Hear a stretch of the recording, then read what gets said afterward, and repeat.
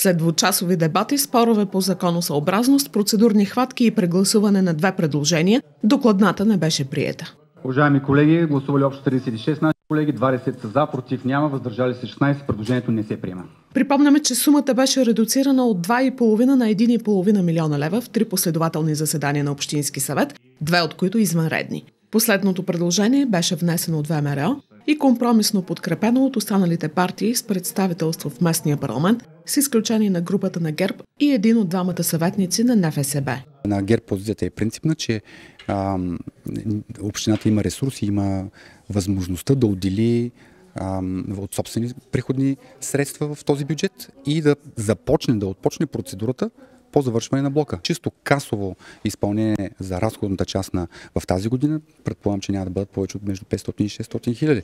Мнозинството настоява администрацията да задели малко над милион и половина лева собствени средства за довършването на блока. Бившият финансов заместник Кмет Иван Колев беше атакуван, че в предходните мандати на ГЕРБ строежът не е довършен има противоречие в това, което казва да, никога не сме теглили кредит за изграждане, работим само с собствени средства, резултата е на лице. И всички тези заявки, които в момента правят, очевидно са несъстоятелни, защото в техни ръце беше да бъде реализиран този блок. До сега да сме забравили, че има проблем с него.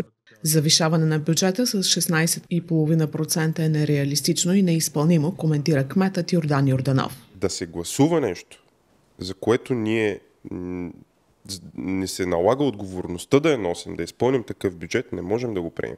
Ами, държавният бюджет даже не може с толкова много увеличение да, да бъде заложен. Няма как да стане реално.